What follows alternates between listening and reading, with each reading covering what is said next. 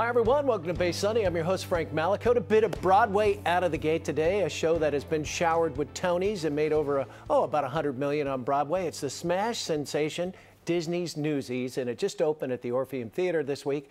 Tells the tale of a charismatic newsboy, Jack Kelly, who leads a ragtag bunch of teens in the turn of the century streets of New York as they battle publishing titans over wages. And we are delighted to have two of the stars, Dan DeLuca, who plays Jack Kelly, and Stephanie Styles, who plays Katherine, his love interest this morning. Good morning, guys. Hi, thanks for having Good me. to have you on board.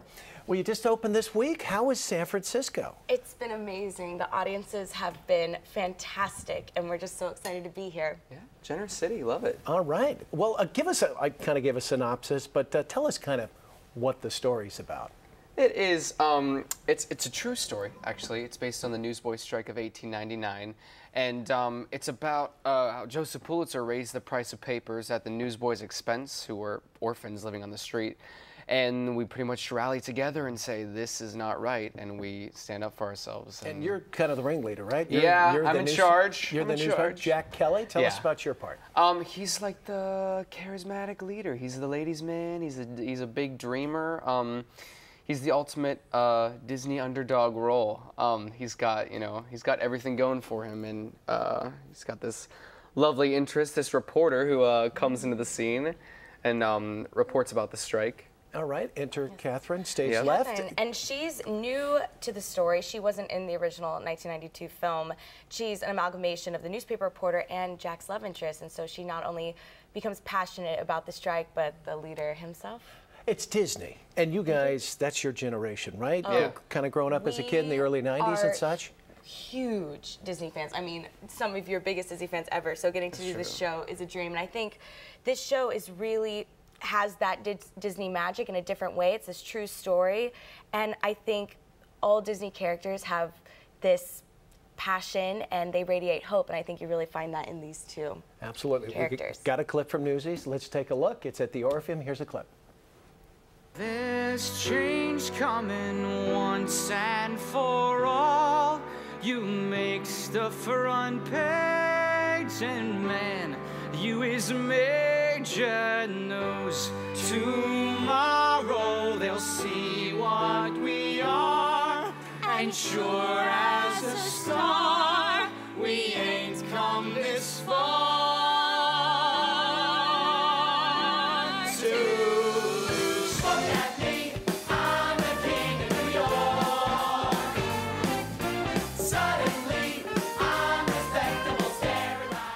Somebody loses the blonde hair in there, huh? A little I bit? do, Come I on, you got this beautiful blonde hair, and they, they change I it, know, huh? I'm brunette with some, I have some great power bangs in there.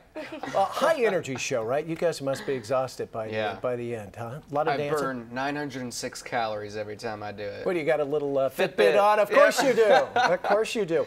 And by the way, I, I guess in the first act you're only off for like four minutes, so you four just five minutes. go, Actually, go. during her song, she has this wonderful uh, patter song, um, and that's my only break off stage in Act One. Well, so. both of you are early 20s. This is kind of your big part, and you found out you were still at the University of Michigan. Got to call it a Panera and say, I, got what? I was. I was flying up my whole last month of school to audition for the show, and I was in a Panera studying for a final when I got the call that I got the job, and I started bawling, and then I had to go take the test. But I think it all turned out well. We're good. I graduated, but it was it was a dream come true for your, both of us. And your major at Michigan was? musical theater. Well, it's working. It's working. Um, great show for kids, right? I mean, if you want something for the whole family, it's Disney for starters, but this really, really hits home for families. It is, right? yeah. The kids will love it because it's just it's high energy, it's funny. They'll love all the characters, but it's also, I mean, it's great for the entire family, grandparents. It's a, it's a you know, lots of historical references. They even go over my head sometimes. Like I don't know what we're talking about, but that's okay. And it's even great for a date night too. It's really romantic, and Yeah. there's all these great moments. It really does have pretty great for something like everybody's on their feet at the end. It's really cool. And, It's, and different than the movie, I guess, a little bit. Uh, more songs. Uh, you're obviously new and different. Christian Yeah. Bale played your part, right? Yeah, Christian Bale played uh, the first Jack Kelly ever. Um, yeah, it was just it wasn't that big of a success when it first came out. A lot of not a, lot- a lot of people knew about it, but um, they made lots of changes. Harvey Fierstein wrote the book. Alan Menken wrote the music, which people know as the man who wrote Beauty and the Beast, Aladdin, Little Mermaid, all these things. Eight so- Oscars, by the way. That's Eight not so bad. Oscars, And Harvey Fierstein, who is just terrific, uh, writing the book. and- And you guys got to kind of break bread with him and kind of work it out a Yeah. little bit. We Yeah. Harvey's Yeah. great. Jack Feldman wrote the lyrics. Who wrote uh, Barry Manilow's Copacabana? Like, there you go. just like just all these fantastic all-star people. It's a recipe for success. Well, it's at the Orpheum and it plays through March the 15th. Great to have you in, guys. All the best. Welcome to San So nice Francisco. to Thank meet you you. so Great much. to meet you as well. If you'd like ticket information for Newsies, log on to shnsf.com, shnsf.com. Up next, our political expert, Melissa Griffin Caen, sits down with Assemblyman David Chiu. Back right after the break. Stay there. All right. Thank you, guys.